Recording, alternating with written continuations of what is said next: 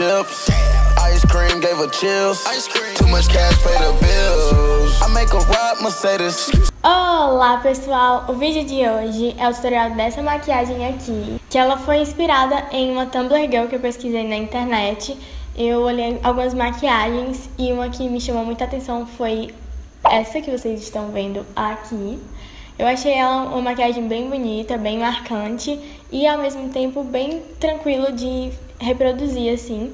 Lógico que não está igual, né? Porque não tem como ficar igual. Até porque nós temos tons de pele dif diferente, tom de cabelo, né? Então foi mais uma inspiração mesmo. Eu achei a maquiagem dela super bonita e eu tentei reproduzir aqui pra vocês, né? Deu pra fazer várias fotos super legais.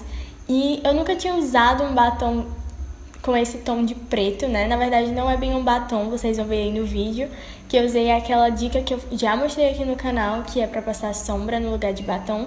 E aí não precisa gastar, caso você não tenha em casa, tem como reproduzir, é só usar aquela sombra preta, que dá tranquilamente para fazer uma maquiagem parecida, pelo menos parecida com essa que vocês estão vendo aqui.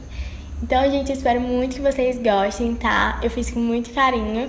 Não esqueçam de clicar em gostei logo se vocês já curtiram. E comentem aqui embaixo o que vocês acharam, se vocês têm alguma sugestão de maquiagem para fazer, ou se vocês gostam de usar maquiagens mais marcantes como essas, tá? Então é isso, agora vamos lá! Música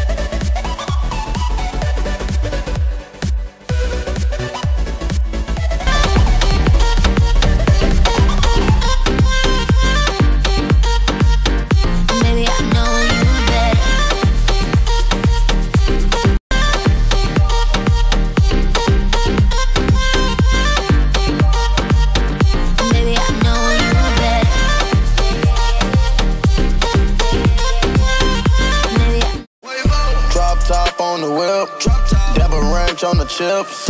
Ice cream gave her chills. Too much cash pay the bills. Bom, então, gente, foi esse tutorial de hoje. Espero muito que vocês tenham gostado. Reproduzam na casa de vocês, como vocês viram, é bem fácil de fazer. Eu usei, como sempre, produtos bem acessíveis, né, que dá tranquilamente para reproduzir. E é isso, gente. Eu espero muito que vocês tenham gostado. Compartilhem com as amigas de vocês, caso elas curtam maquiagens Tumblr assim também, né? Um super beijo, muito obrigada pelo carinho de sempre e até o próximo vídeo. Tchau!